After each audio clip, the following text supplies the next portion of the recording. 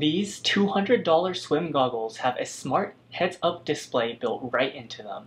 So as you're swimming, you can view all sorts of different metrics like your pace, distance, calories burned, and much more. In this video, I'll dive into an in-depth review of how these goggles work, exactly how the display looks while you're swimming, and if they're actually worth it. This is what the goggles look like. They're a bit on the heftier side because they need to support a battery, processor, gyroscope, and other electronics all in a normal sized pair of swim goggles. But the fit is pretty good. They never leak on me and I've gotten used to the slightly heavier weight. They're also very comfortable and they come with adjustable nose bridges that I've never had to use. You charge the goggles with this satisfying magnetic charger.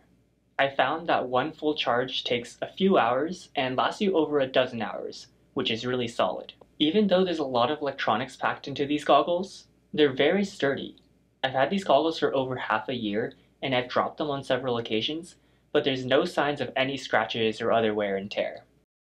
You're able to turn on the goggles via the power button on the side.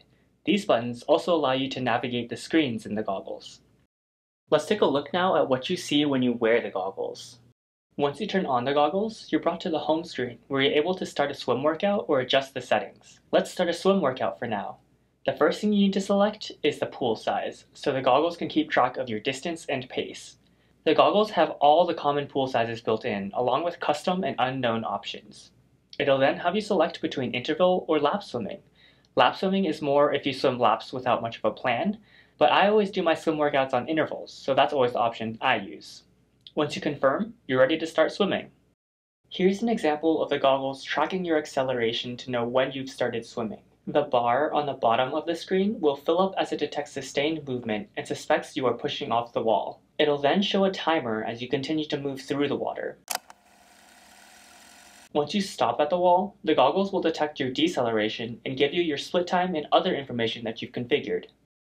This is pretty much exactly what the goggles look like under the water. The screen is pretty clear, although there's also some slight reflections that you get used to. The goggles also detect when you're doing a flip turn. The screen will freeze into one configurable display about information for the last length. And I found the goggles to be pretty accurate with determining when you start swimming, flip turn, and stop swimming. Sometimes the goggles may be 1 to 2 seconds off with when I push off the wall and when I stop, but most of the time it seems pretty spot on. I've learned to not shake my head or move too aggressively while resting at the wall, because that can trigger the goggles to think that you're swimming.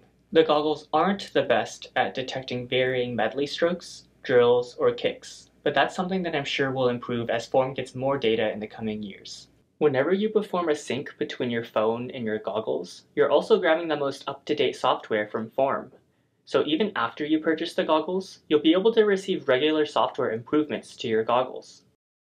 You're able to connect your pair of goggles with your phone via Bluetooth. This lets you sync all of your workouts onto your phone. You can then view your exact workout and additional data analytics on the Form app. The highlights view shows you the exact sets you swam with your movement time and average pace per 100. This is a great way to track your fitness progress to see if you're hitting your goals. There's also bar graph views of your time spent swimming each stroke versus rest, distance per stroke, and your SWOLF efficiency score. The goggles also estimate how many calories you burned.